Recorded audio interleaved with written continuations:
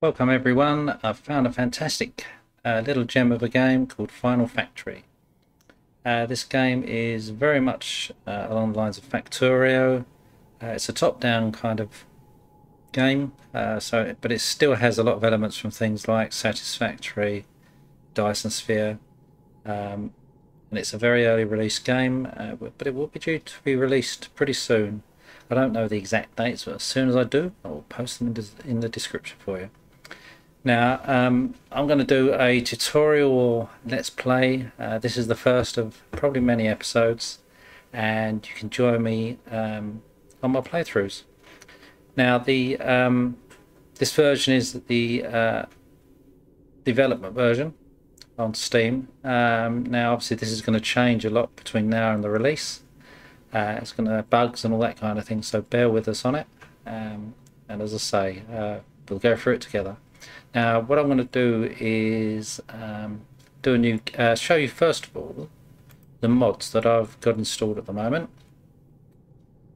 it's Auto Loot, obviously Steam Workshops where you get these, Tobot, um, and there's also a new one that I'm going to do uh, which will be the Lootbot, but I'll enable that later on. At the moment, I just want to uh, show you the very basics uh, of the game. So we'll leave that as it is, and what we do is do a new game. And if you want to join with me on my my, my actual seed on the map, it's 00001. Um, you can leave the tutorial on. I'm going to turn it off for now and everything else is standard. You can go into custom and change the asteroid richness, the stacking level, etc.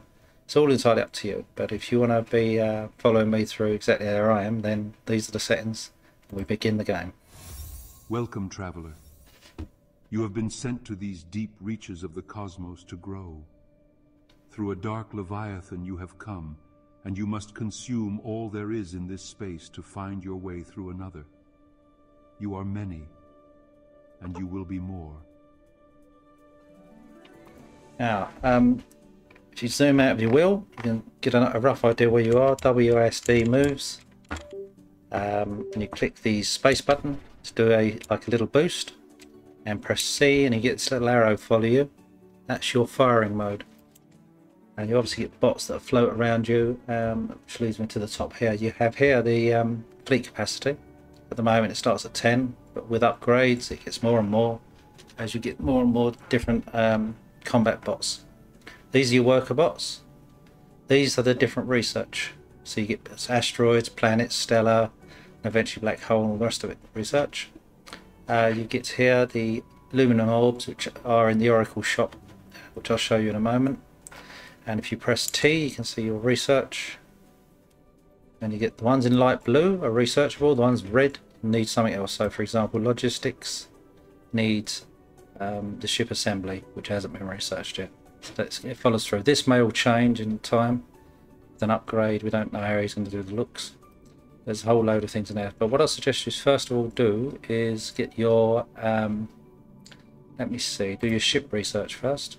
And just click research. We haven't got anything built yet, so nothing's going to happen unless you kill some NPCs or enemies. Then this slowly goes up. You'll see they give out little um, research uh, as loot. This here is the um, your hit points, and this is your defense.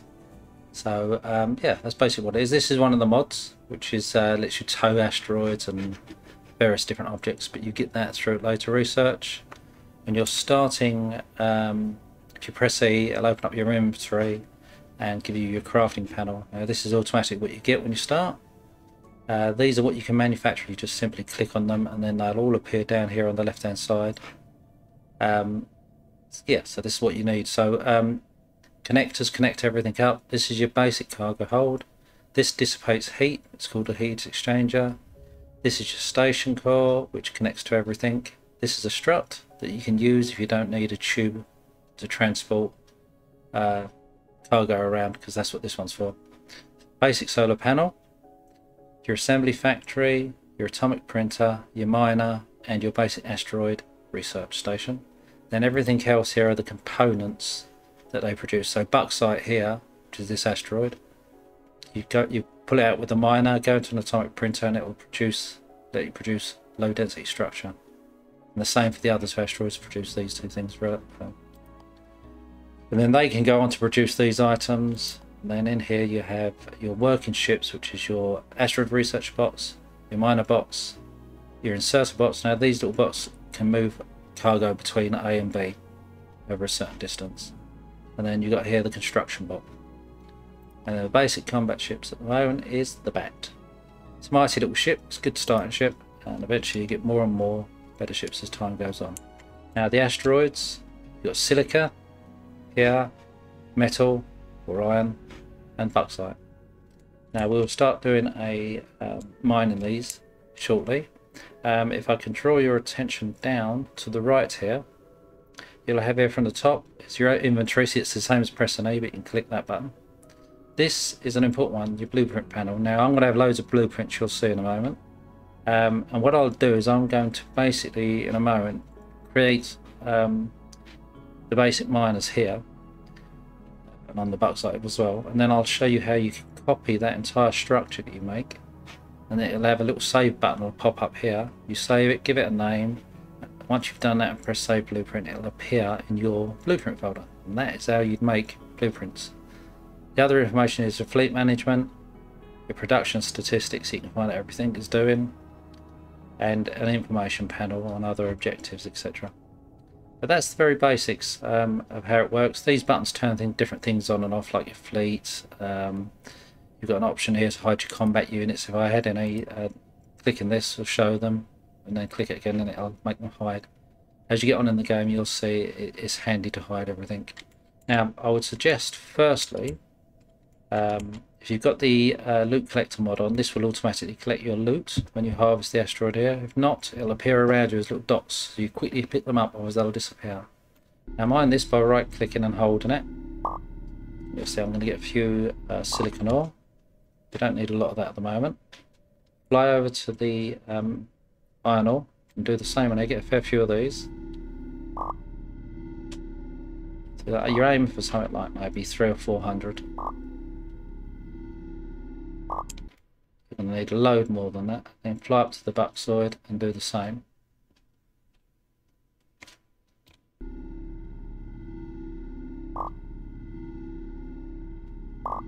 And remember to save your game regularly. Just in case you made a problem with the layout or you didn't want to build something right, you can just load, reload and stop that problem from happening. Right, okay, so when you've got a few, like 300 odd or whatever, of the main two, that's these two, the bauxite and the iron, open up your E, press E to open up your crafting pad, and then you want to make yourself um, do a couple of these stations, a couple of these heat exchangers, right click on the solar panel, I think it makes four or five, something like that. Same for these um, cargo connectors. And then what happens is they all build down the left hand side here.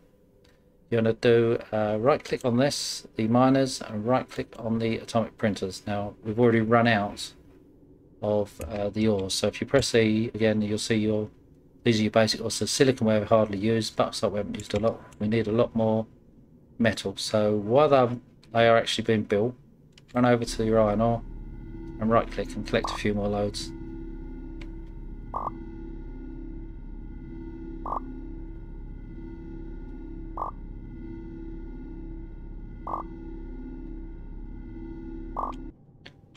You do down here also, you'll see this little hotbar, little of empty spaces. You can totally change these how you want. If you press E again, now you can see the um, station core. If you pick it up by pressing the left mouse button, and as you move it around, you'll see it highlights the the cell below it. It does the same on the hot tart bar here. So I stick mine on zero. You left click again on it, it goes red. And now you can see you've actually created a shortcut that um, item, which is great. Do the same for um, the miners. You take them out move them around, do whatever. So we've now got two of those. So what I'm going to do is do um, this asteroid first. So what you do is you press um, zoom in with your mouse wheel and then what happens if it shows red obviously you can't build. Now I tend to stack mine by pressing R it rotates it. So you want to go up at the top Let's see exactly where it goes red. Move your ship over it and go on the end. So you know along that line here, it can't go match it here, it's going red. So you go up one, move along to the end of the asteroid, because you can go right the way along a face. fascia, so. So you want it on the end, and then leave a gap, put the next one. Grab your station core, put it into the middle between the two. Click it. Oh, and before you do that, don't make the mistake I just made. Build yourself a couple of construction blocks. That's this bottom one here. So one, two. While you're there, build, uh, say, four or five combat bots. And what happened is it's already built the construction bot. It's built these for you. That's what the construction bots do. Now, um, grab yourself a connector, one that transports cargo, so it's not a strut. You can see this little arrow. It's not very clear, but there's a little arrow there. Press R to rotate it, and that's the way the uh, goods are going to flow. So from this mine, miner here to the station core. Same on the other side. Now that's going to show it wants power. So if you click this shortcut for your solar panel, I'm not going to put any more on the side here, so I want to stick some solar panels on. You'll see these little, these little diamond green dots. Those are connectors, so that's where you can connect things to. So I'm going to put three on there. And then we're going to stick on the end of that the atomic printer. We're going to have two come out of this. So we'll have one there, one there. I won't connect them yet because I've got to put the heat exchanger on. But what you want to build now is, um, this is why you haven't done the full 10 of, of the amount of bots you can hold. So click on working ships again and do four or five miner bots. One, two, three, four, five. Now these will come out my ship and they automatically go to the nearest miner. So they will fly down here, start mining. You'll see the green lasers come, or the lasers come out of them, and then they will just take it and drop it back to your miners here and here. These will then transport that into the station core, which will then transport it into these um, atomic printers. So um, grab your cargo transporters again. Make sure the arrow's up. Click and click. It gets built. And now you'll see this like it's a a little symbol that looks like a 7 with a line through it. So if you click it, tell it you want the um, iron ore. The other tell it you want iron ore. Now you can also see on this, not only do we need more power by the lightning bolt, but you've got this flame, which means you're producing too much heat. So if you click the station core, it tells you here exactly the power production or that you're making from the solar panels. Your power consumed, so you can see we're producing 15 but we need 18 click heat, tell how much heat is being produced. Now these these aren't working at the moment. This is what this is doing. It's like future proofing it. It knows when you turn these to on, you're going to produce heat. So that's letting you know in advance. So what you want to do is click your heat exchanger, press R to rotate it. The two arrows signify where it can, uh, you know, the face that needs to connect to, needs to connect to. So in this case, I'm putting on the station core.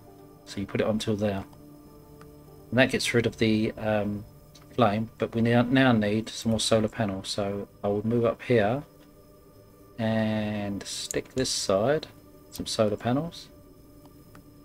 It's two for good measure. Now click your um, atomic printers and tell it you want to mine. You can't use this because that needs bauxite, or but you can use this because it needs two iron ores to make one. So you click it, and what happens is that will now start producing the medium density. You want to go back to your E and see if we've got enough to make yourself a couple of cargoes. Once you've done that, what we'll also do while we're in the working ships is print, uh, build a couple of inserter bots. I'll show you how these work. Um, and also, what we could do is build another two or three or so of these connectors once it's done the storage so now this can come out. So if we move uh, at the moment we temporarily put it here. You can have these not connected to the actual whole structure because what you get if you left click on the station again that I mentioned before station stability. Near enough everything requires takes this away. So you're allowed a maximum of 115 we're currently using 43 that tells you your power etc as well. Now um, as I say, near enough every item uses stability, so this will go up and up and up until you reach that amount, and then you can't connect anymore unless you get uh, ways to give you more stability. More on that later. Right, so if I grab one of these cargo connectors and then connect it across here, what that's basically telling me is that uh, the ore's coming out of this station, being made into medium density, and these two atomic printers. This one here is moving all of its goods across. Now you could put it up here if you really wanted to, but I just find it easier to do this. And then what we do is we grab one of the um, ships which is on here. Actually, it's on my short part. It's already there. So click that, uh, inserter bot. Now rotate it around the arrow, signify the direction it's picking up from and going to. Now it doesn't matter, you can put it here on this station and it'll go right the way up to the open circle at the end, that's where it'll deliver to. But it's faster if you just leave one, not even a gap on the inserter box. Now what you do is get your, press E again, build a few more solar panels. We'll have to get some more oil soon. And then while they're being built, grab one of them, stick one on this side, and then one, it doesn't matter where you put it here, you can fit it. Now you can see it's moving now, all of this bauxite, uh, sorry, medium density product we've just made out of um, the respective atomic printers. So I out of this printer and it will slowly move across here. Now what we can do as a later research is this junctions, which I urge you to all start research. You need your bat damage to go up, and you need your fleet command tech. Now these uh, increases your fleet capacity by 20, so you'll have around about 30 once you research this one. This is your exploration tech, and it's part of the defense by this defense platform. You connect the two together, and what happens is um, if you provide it with enough power in a station core, this will reveal the fog of war or a certain distance around it.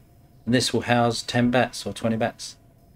And uh, they will de uh, provide defense for your um, base. But more on that a bit later. You've got to pick your researchers to start and get going on. Now, what I'm going to do now, remember I said down here you press the button. It shows or doesn't show your bots. Here are the bots that I created. So you can see. What I'm going to do now is quickly save the game and I'll show you uh, when we come back basics of uh, the fighting side of things. So let's save this one.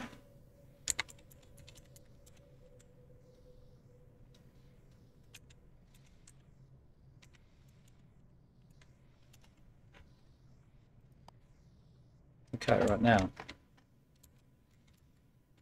We'll work out and go and do the uh, some ship combat.